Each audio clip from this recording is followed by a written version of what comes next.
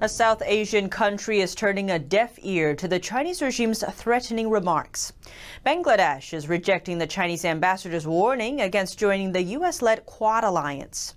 The country's foreign minister said on Tuesday his country is an independent state. He added that they will decide their own foreign policy based on the best interests of the people. The minister described Communist China's style of diplomacy as unusual and aggressive. Earlier this week, the Chinese ambassador to Bangladesh said that Bangladesh joining the Quad alliance would damage its relations with Beijing. The CCP considers the Quad alliance a small anti-Beijing club.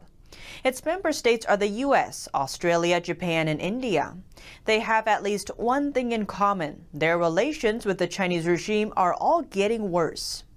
In March, U.S. President Biden said that the Quad would be a vital arena for cooperation to counter Beijing in the years ahead.